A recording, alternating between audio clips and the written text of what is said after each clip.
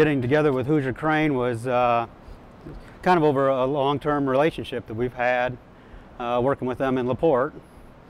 Uh, they've done several projects for us. Uh, we like their work, uh, confident in their work, and with them being, you know, 40 minutes from us, made it easy to design the project uh, from the get-go. The New York Blower project consisted of three 20-ton cranes. Uh, one of those had a single hoist with the ability to add a future 10-ton hoist. Um, the other two came with two 10-ton dual hoists that went on the same crane. Uh, it's going to allow for a load turning application. Um, both in those cranes will utilize a Magnetek Flex, EX, Flex 12 EX2 radio to allow them to operate both hoists and trolleys at the same time.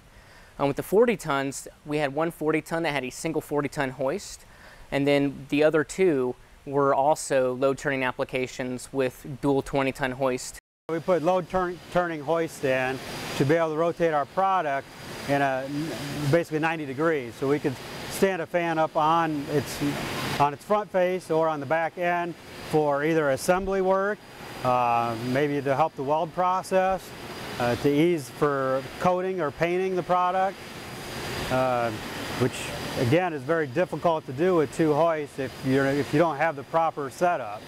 So by getting the load turning hoist, it makes that very easy for us to be able to rotate the fans. Uh, it's provided a much safer way for us to handle our product, our fans.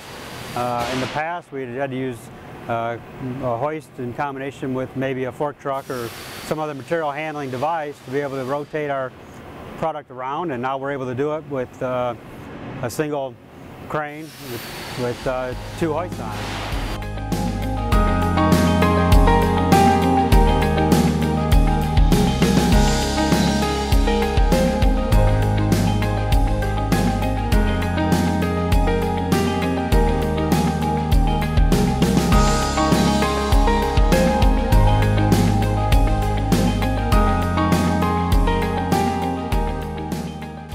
Crane um, has been serving, uh, servicing New York Blower for uh, probably about 10 years now, or close to it. Um, and we've had really good luck with Hoosier Crane, good service with them.